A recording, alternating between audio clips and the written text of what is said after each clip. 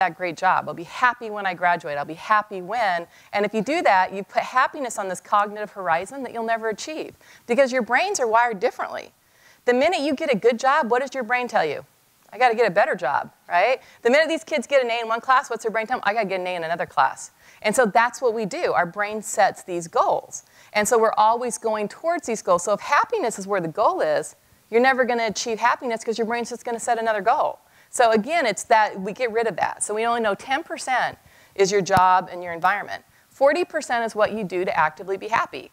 At beginning of the year, if you said to your um, significant other or partner, hey, I'm going to get in shape, and every day I'm going to go to the gym, I'm going to do weights on this day, I'm going to do cardio on this day, and in three months I'm going to be in shape.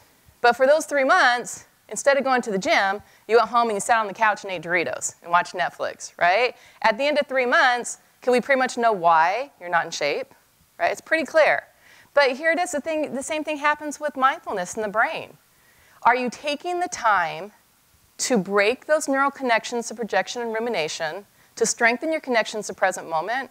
Are you working on that? Are you purposely trying to be happy? And it's funny because I just finished, I told you that lifelong learning class that I teach. I had a physician in there, he, he practiced for 45 years. And he said to me, he said, Jamie, this just blows my mind. He goes, I practice 45 years, I still run six miles every day, I have a really clean diet. And he goes, not once, he goes, I've been taking such great care of my body, but not once have I thought about, am I taking care of my mind? And he goes, and it just, he goes, it just is, it's so crazy for me to have so not seen this. And so that's really where the challenge comes in, is that you've got to learn to pay attention to you, to learn you, all of you, the comfortable and the uncomfortable, to recognize when you are going into, you've had vicarious trauma and you're going into sympathetic, to recognize that you have the power to deregulate that. It's just going to be through your behaviors and your actions that you actually start seeing change occur. So here's my email. If you want Jamie's tidbits, I'm happy to share them. Anytime if you have questions, you know, for me, I have a job that I absolutely adore at ASU. I love doing this because it is, it's a pay it forward. It's, it helps me contribute to something bigger than who I am. And hopefully, if one person starts doing this and they model it for others, right, that's how we start seeing change occur.